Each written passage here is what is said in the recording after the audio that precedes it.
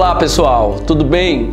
Eu sou o professor Chico de História do Brasil aqui do Vetor e eu tô chamando vocês, eu tô aqui para convidá-los para o nosso curso de obras literárias.